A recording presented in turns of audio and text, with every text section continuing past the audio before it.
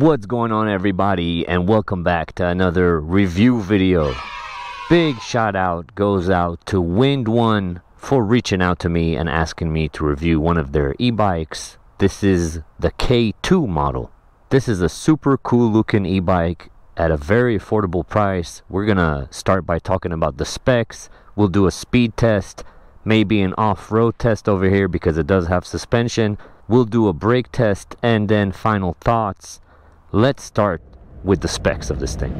So what we got here is the Wind One K2 electric bike. It has a 500 watt, 700 watt peak hub motor in the rear, coupled with a 48 volt, 13 amp hour battery. This should give you a range of up to 40 miles, depending on how you ride, of course. We have 20 by 4 inch fat tires with a really cool rim design, which I really like. Hydraulic brakes, front and rear, with a 180 millimeter rotor. That's always nice. We have a front suspension fork and a rear monoshock. 7 speed Shimano with the Shimano derailleur. A very nice extra large seat with passenger pegs. That is awesome. A very cool looking headlight. The total weight of this bike is 88 pounds and the max load capacity is 330 pounds. And up on the handlebars, we have a full twist throttle, our front brake, a horn button, and our Shimano gear changer. In the middle, we have a very nice color display. And on the left side, we have our rear brake, our on and off switch, and mode selector. And that is pretty much all for the specs. Now, as far as the price, if I'm not mistaken, this e-bike is currently on sale for 799 instead of like $1,500. That is an insane price for everything that I just mentioned in the specs. That is insane. I review a lot of these bikes and just the fact that it has hydraulic brakes, which, come on, guys, at this point, all of these bikes should come with hydraulic brakes. I don't like seeing mechanical brakes. I mean, they work, but this is such an upgrade. Pretty insane. And I really, really dig how big this seat is and these passenger pegs. Amazing. What a genius idea. All right, now we are ready for our speed test. But before we do that, I'm going to show you the starting procedure. Pretty simple. You just got to make sure the battery is on. There's an on-off switch over here. Make sure that battery is on. And there is no key necessary. There is a key, but the key is to remove the battery and lock it into place. So we'll get on this thing and super simple. You have a power button right here, right in front of you. You hold that for like a second or two. The screen will come on. Once the bike is on, we're going to be on uh, zero, mode zero, which means no throttle. This is, uh, it's going to operate like a normal bicycle. We have five modes. One, two, three, four, five.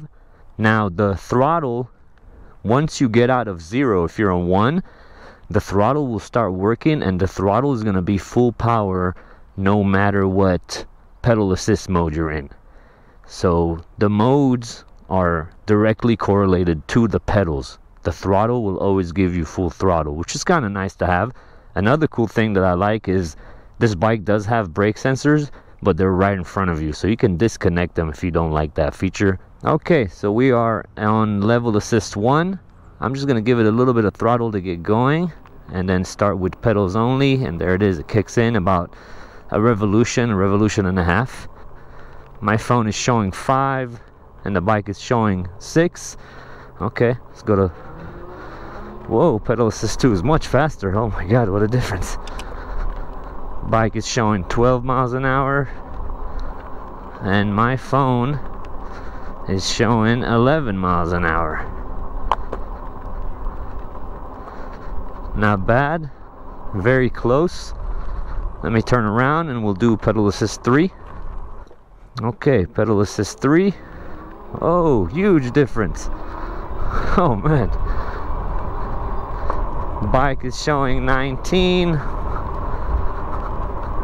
GPS is showing 18. That was pedal assist 3. Let's go to pedal assist 4. Yeah, torque is insane. Close my close my visor. Bike is showing 22. Will my GPS show 20? 20. Okay. 20 miles an hour on pedal on pedal assist 4. Now let's try pedal assist 5.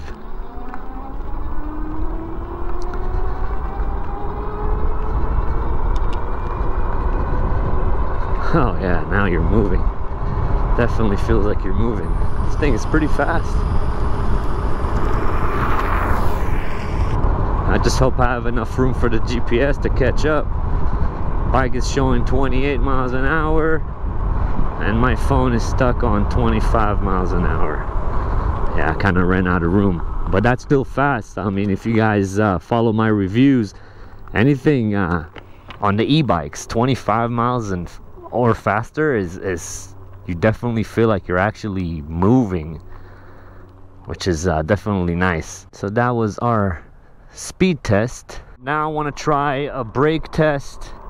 I got my camera set up over there behind us so we can see how the distance of how long it takes to brake. I come over here turn around and go. There is uh, this purple mark purple writing on the ground. Gonna hit the brakes when I get to that point. And let's see what happens. One two you can see that the tire locked up and we are at about 20 feet 20 to 25 feet give or take. All right, one more time for sign's sake. Uh, this thing picks up speed fairly quick. Let's see what happens. I don't think my camera is far enough, but here we go.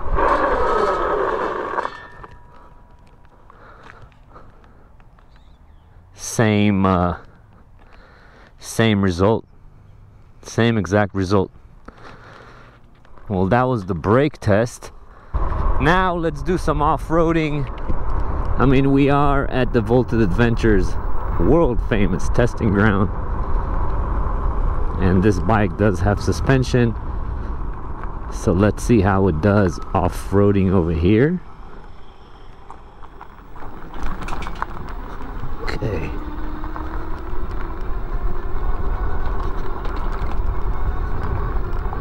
So far. Not bad. I mean the price is amazing. For everything you're getting over here it's pretty good.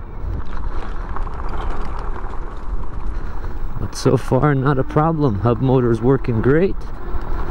And the suspension held up. It is a little bit of a bumpy of a track but we did it with no problems. All right, final thoughts. This thing is nice. I always say in all my review videos, it's value for money that I'm looking looking at over here. And the value for money over here is absolutely insane for everything that you're getting. It's not gonna be the fastest bike in the world.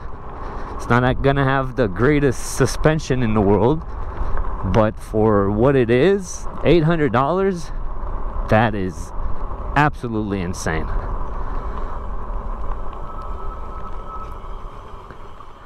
And I am very much amazed and pleased with this great looking e-bike by the way. Now some people don't get these for off-roading and things like that they might get it for a short commute, maybe to ride around the neighborhood, go to 7 Eleven, things like that. Ride around the park. This is absolutely amazing for that. Great looking e bike, amazing price. If you guys are interested, as always, I will have an affiliate link in the description. That will help me out a lot if you use that link to make a purchase. If you guys found this review helpful, then definitely help me out by leaving a like and commenting on this video. If you guys want to see more of these reviews, and there are plenty more coming, make sure to hit that subscribe button. But that is pretty much it for me. My name is Tom. This was the Wind One K2 electric e-bike review. I appreciate you guys watching. Thank you very much. And I'll catch you on the next one. Peace.